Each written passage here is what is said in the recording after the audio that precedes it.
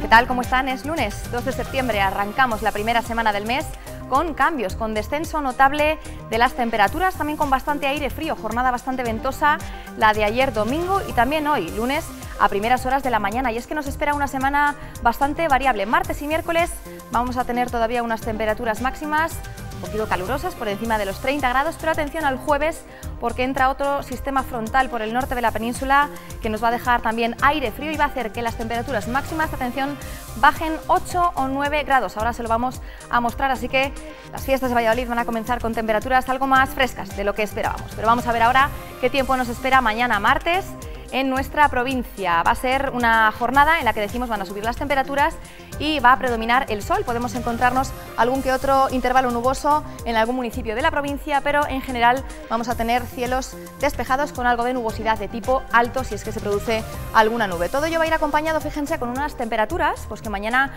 van a elevarse en comparación con las de hoy, tampoco mucho. Nos vamos a quedar con valores entre los 29 grados en la zona norte de la provincia, en Tierra de Campos y también en la zona este, la zona de Campaspero y Peñafiel, entre los 29 y los 31. Fíjense, van a ser bastante parecidas, pero atención a esas mínimas que mañana empiezan a descender con tan solo 7-8 grados en la zona de la Ribera del Duero. Por el resto de la provincia, pues nos vamos a quedar, fíjense, entre los 9 y los 10 grados de Valladolid capital y esos 10 grados que se van a repetir también por el resto de los municipios del sur y de toda la zona suroeste de la provincia. El viento mañana va a soplar de componente norte, noreste y lo va a hacer ya un poquito más flojo que hoy.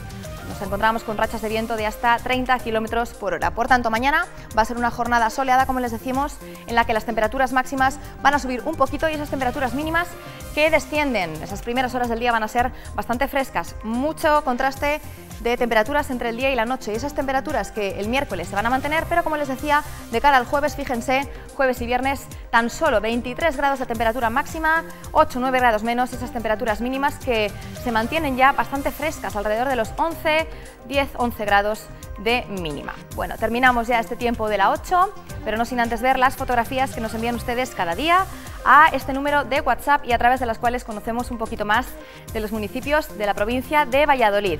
Elena nos enviaba esta fotografía desde el aeródromo de Matilla. El municipio es Matilla de los Caños, a poquitos kilómetros de Valladolid, en el centro de la provincia, un pueblecito de poco más de 100 habitantes. Y le recordamos que hoy son fiestas en Medina del Campo, el famoso San Antolín, también lo son en Fonbellida y en Trigueros del Valle, que lo pasen bien en todos estos municipios. Que pasen buena noche y nos vemos mañana. Adiós.